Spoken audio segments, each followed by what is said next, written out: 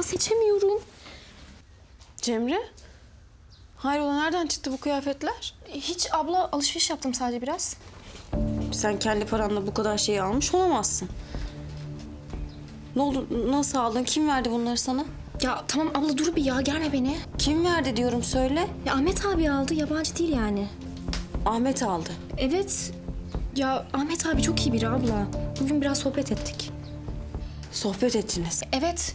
Ya bak abla üzülmüş o biliyor musun? Hem senin yüzünü falan da söyledi. Hepimizi gerdiği için de iyilik yapmak istemiş. İçinden gelmiş almış yani. Sen neden kabul ediyorsun peki? Abla sen niye bu kadar kasıyorsun ki ya?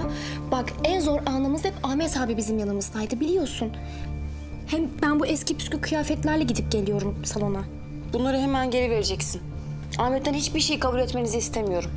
Ay tamam abla gerilme ya gerilme. İyilik yapıyor sadece karşılık falan da beklemiyor. Ya ben böyle bu şekilde bir iyilik istemiyorum ya. Al.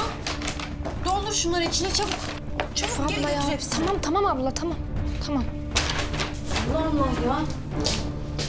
Bu da iyice ipleri koparmış ha.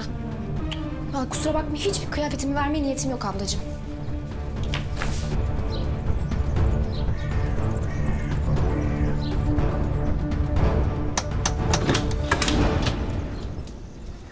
Ahmet.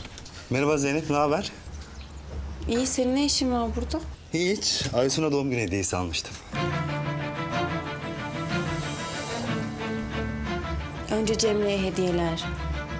Şimdi Aysun'a. Bence hiç gerek yok ya. Çok fazla hoşuma gitmiyor böyle. Ayrıca keşke gelirken bir haber verseydin.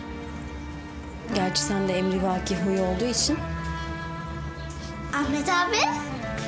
Nasılmış bakayım doğum günü kızı? İyi. O kime? Kim olacak? Sana tabii ki. Yaşasın. Bir tek doğum günümü sen hatırladın. Hadi gel kutlayalım. ATV kanalına abone olun, hiçbir şeyi kaçırmayın.